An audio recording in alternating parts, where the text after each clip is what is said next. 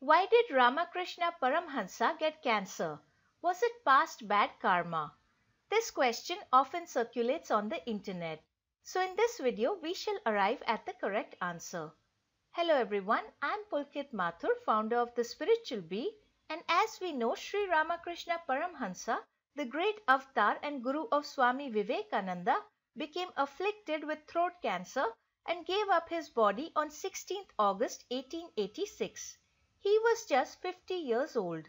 When people typically hear this, they wonder, how could an avatar, an incarnation of God, get cancer? Did he do some bad karma in his past life?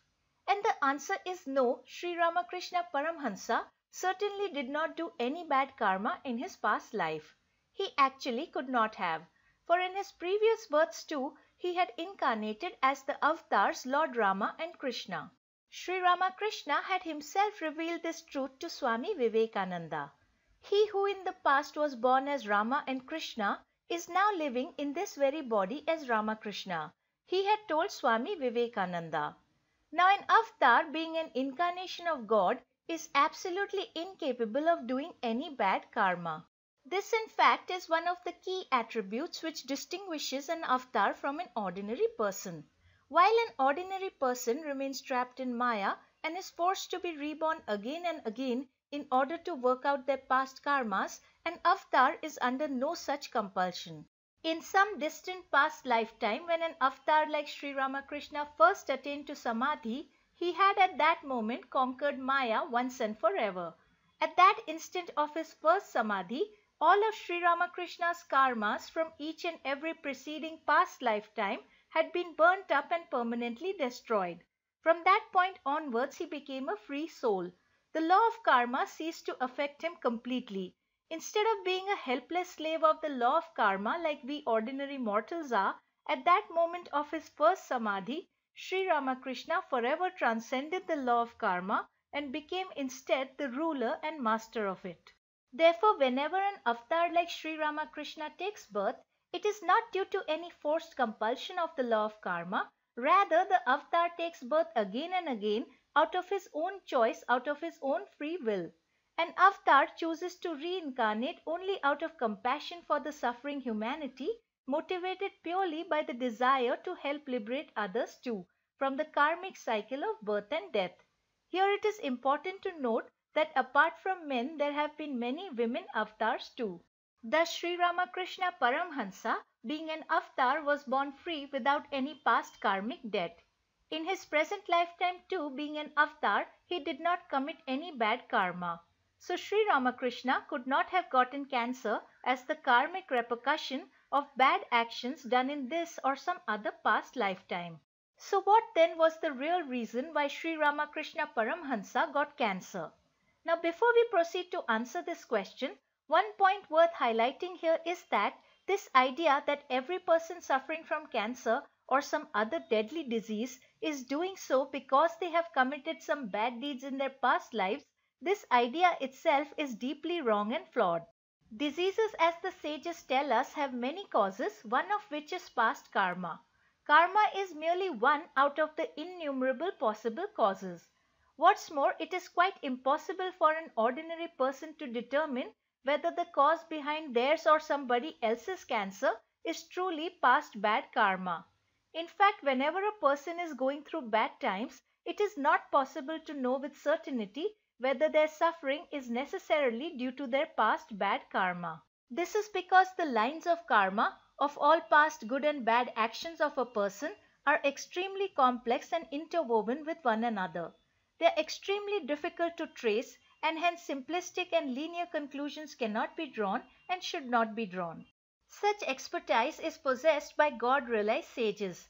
They certainly have the power to untangle the entanglement and know for sure whether past bad karma is the cause. Such sages of course are rare. It is for this reason that the Bhagavad Gita has stated Gehna Karmano Gati.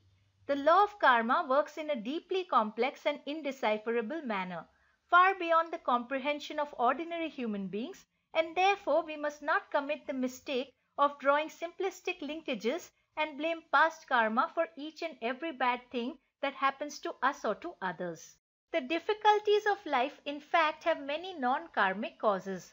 For example, it may be the case that the soul of a person has purposely charted out difficulties in its life plan so that the person can grow and manifest the divine qualities which lie latent within and thus hasten their ascendancy to the realm of God consciousness. In other words, the inner self of a person can purposely invite difficulties and use them as tools to quicken the pace of spiritual growth. When this happens, the individual himself will not be aware of this decision made by his inner subconscious self. Another example of life's difficult situations having non-karmic causes is when an individual becomes the victim of another person's evil thoughts and actions. When we are born on earth, we each take birth in a realm of deep ignorance, where we and others around us are all ignorant of our true divine natures. Thus we go about committing numerous mistakes, acts of bad judgment and evil deeds. Living in this realm of ignorance, we can easily become the victims of another person's misdeeds. Consider for example the case of a farmer who is illiterate and who routinely sprays pesticides on his fruits. A pesticide company whose executives are all highly educated but morally weak, these executives, blinded by the greed for profits, market their product aggressively to this illiterate farmer. The farmer being uneducated is not equipped with the knowledge to understand the harms caused by pesticide use. The government health officials too have taken bribes from the pesticide company and have consequently turned a blind eye to the scientific warnings of toxicity. As a result of all these moral lapses, some consumers after ingesting the pesticide-laced fruits purchased from the farmer get cancer. Past karma then cannot be blamed for their contracting the disease because these individuals are in reality the victims of other people's bad judgment, ignorance, greed and immorality. Therefore, it is very important for us to keep in mind that diseases and bad events in life have many causes and past karma is not always to be blamed.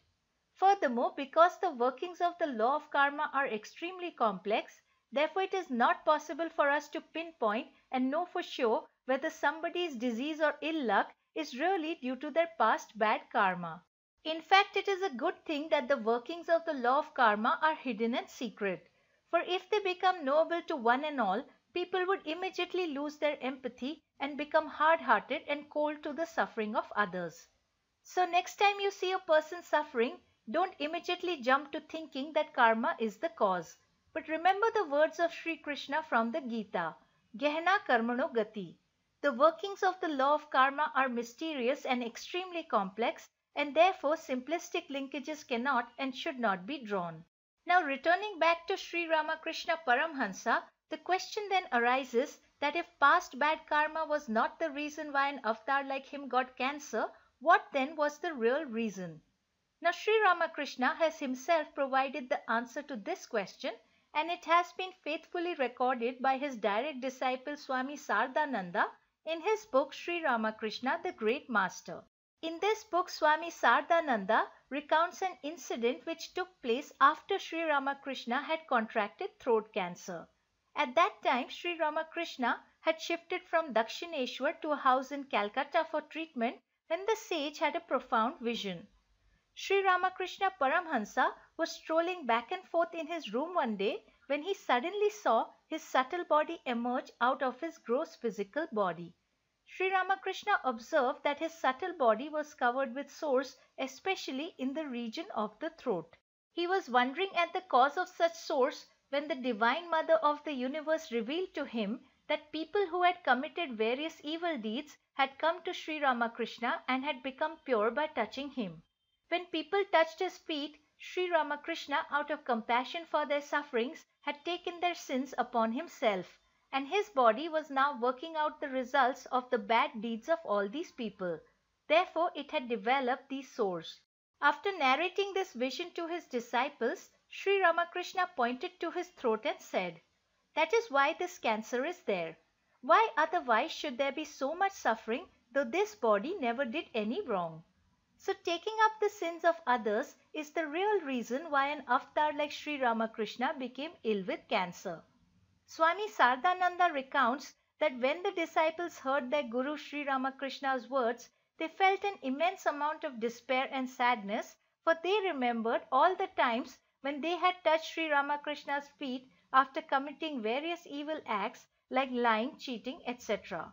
And the great sage all this while was silently absolving them of the karmic repercussions of their bad actions by absorbing their sins into himself. Swami Saradananda particularly recalled one noteworthy incident which had happened. Once a man suffering from the skin disease of leukoderma begged Sri Ramakrishna that if only the sage would pass his hand over his body, he would be cured of the disease. Sri Ramakrishna out of compassion said, As you desire, I shall pass over my hand. Your disease will be cured if the Divine Mother wills. And he passed his hand over the man's body. For the whole of that day, Sri Ramakrishna experienced excruciating pain in his hand. Sri Ramakrishna said later, the man was cured of the disease but the suffering was experienced by this body. So this is how Sri Ramakrishna took other people's sins upon himself. This phenomena of a guru absorbing other people's sins has been further explained by Sri Aurobindo, another great sage and avatar. Once Sri Aurobindo's disciple Nirodbaran asked him, It is said that Ramakrishna Paramhansa got cancer because of the sins of his disciples. Is this possible? Sri Aurobindo replied, The Guru has to take up many things of the disciple. There was a famous yogi who advised a disciple who was getting ready to become a guru. The yogi said to the disciple, In addition to your own difficulties, you will now have to take up those of others. So a genuine guru takes up some of the past karmas of his disciples in order to hasten their spiritual progress. We must remember, however, that the guru of course does this only after determining the patrata or the worthiness of his disciple. He does not bestow such boons willy-nilly and for free. If you wish to understand this point better, then do watch the earlier video series on patrata. Continuing his conversation with Nirodbaran, Sri Aurobindo remarked, No doubt if the Guru cuts his connection with his disciples, then this transfer of sins from the disciple to the Guru cannot happen. But then this would also mean that no work of spiritual upliftment gets done and the sadhaks are left to themselves without any support. For this reason, Mother, here Sri Aurobindo is referring to Mother Mirra, took up many sins of the disciples because she united herself with the sadhaks. Now such a transference of karma is not anything to be surprised about. As Sri Aurobindo explains further, such an interchange of forces between persons is actually very common. Whenever two people meet, the interchange goes on. In that way, one contracts a disease from another without any infection by germs. A disciple here was very conscious of what he was receiving from others, but he didn't care to think about what he was passing on to them. Even without meeting, there can be mutual effects. Even thought has power for good and evil. Bad thoughts may affect others. That is why Buddha used to emphasize right thinking. So to conclude, Sri Ramakrishna Paramhansa the avatar did not get cancer due to past bad karma. Rather, he got cancer because he purposely took upon himself the sins of his disciples. Because the great saint wanted to smoothen his disciples' path and hasten their spiritual evolution. This is the truth. Now having understood this, a follow-up question then arises, which is that having taken on his disciples' sins, why did Sri Ramakrishna not use his immense yogic powers to cure himself of the throat cancer? Why did he have to go on suffering? Surely he could have used his tremendous yogic powers to restore his health. So why didn't he? We shall visit the answer to this question in the next video. Until then, take a moment to join our daily quote service on Telegram and consider supporting the Spiritual Bee Foundation so that misconceptions and superstitious beliefs that prevail in Hindu society can be removed and the correct and genuine Vedantic principles be imbibed by the people. As always, thanks for watching and we shall meet again in the next video.